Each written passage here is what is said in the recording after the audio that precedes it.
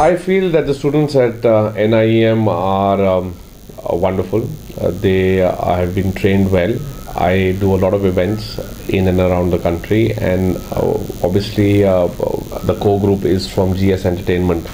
But a lot of the freelancers that we use are the students who come from this institute, and um, they do a great job. Uh, they learn on the event itself uh, and better themselves, and um, I'm sure that that is uh, uh, an added factor when they go back to their classroom or to their college or to, to their institution and impart that knowledge to the rest of the people who are getting to the business of events or uh, uh, execution of events.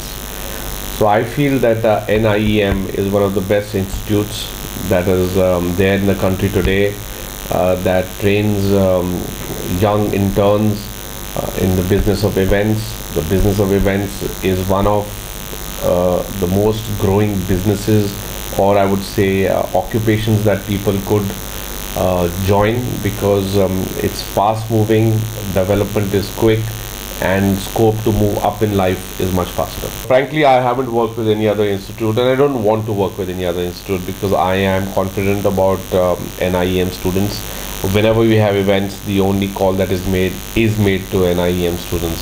So I've never had the um, opportunity to work with any other institute frankly because I don't want to. I am satisfied and happy with uh, what comes from NIE. No, they haven't. In fact, we are we just looking to recruit um, student, uh, not students, interns first. Um, uh, the the procedure at GS is first to become an intern.